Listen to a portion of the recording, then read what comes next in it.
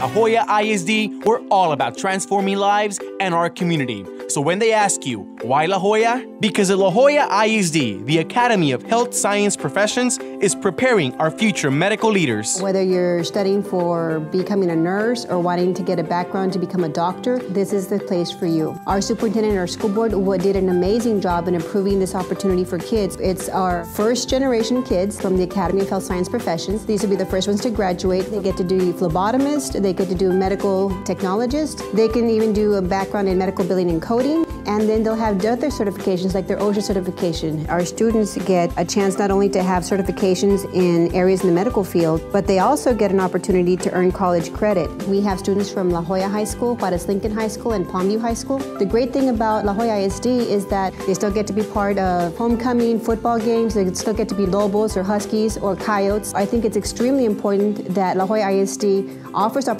like this because that's what parents are looking for and that's what our kids are looking for. They're looking to be challenged, they're looking to be career ready. I think it's outstanding that La Joya ISD offers those things. A big thank you to our superintendent and to our school board for starting the Academy of Health Science Professions and the academies of La Joya ISD. So when they ask you, why La Joya?